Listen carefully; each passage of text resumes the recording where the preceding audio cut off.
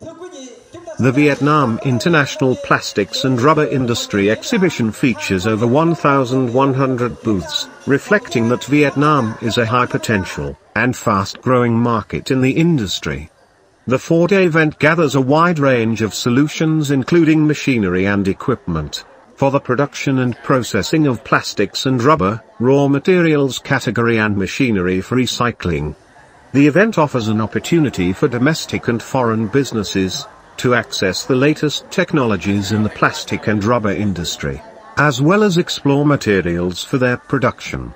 Two seminars will be held within the framework of the Expo, including one focusing on addressing challenges in operational management for enterprises manufacturing and distributing raw materials and additives in plastic products, along with providing solutions to these challenges.